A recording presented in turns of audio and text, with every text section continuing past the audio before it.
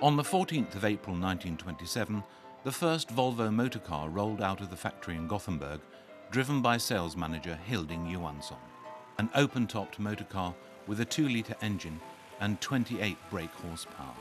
The car, nicknamed Jakob, was understandably no great sales success. It was by no means easy to start a Swedish car company and break into the Nordic market with only a cabriolet in the range. Only 300 cars were sold during the first years the car was in production. Volvo's world famous safety image was in fact born before the first car rolled off the production line.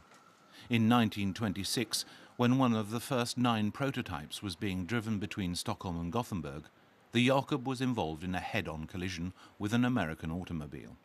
The American car was a complete write-off, whilst the Volvo survived with only a few scratches. And a safety image was born. Towards the end of the 20s and at the beginning of the 30s, Volvo's production was somewhat modest. Inspiration came in the first instance from the USA, when skilled Swedish engineers who had worked in Detroit returned home with new technical skills and American-inspired designs. Volvo's first really big success came in 1944, when the PV 444 was exhibited at the Stockholm Motor Show, held at the Royal Tennis Hall in Stockholm. The PV was also the major breakthrough for Volvo on the US market. The car was smaller than American models, but roomier inside, and had sufficient horsepower to be regarded as a family sports saloon. The PV also quickly established itself as a big favourite amongst rally drivers.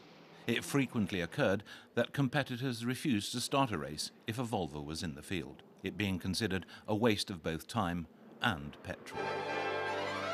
In 1953, Volvo presented its first estate car, the Duett, which was the prelude to Volvo's concentration on family motorcars, even if this particular model was perhaps best suited for tradesmen.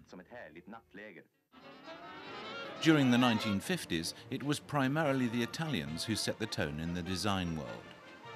Volvo's new chief designer, Jan Wilsgaard, who was given the task of producing a new model, blended Italian inspiration with Swedish functionality, which led to Volvo's new huge success the Amazon, or the P120 as it was called abroad.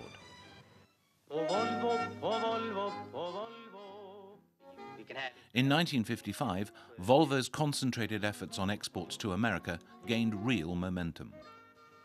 This is Volvo, the Swedish-built compact. Efforts which resulted in the USA becoming the company's largest market. In 1959, Volvo became the first motor manufacturer in the world to fit the three-point seatbelt as standard in a mass-produced car.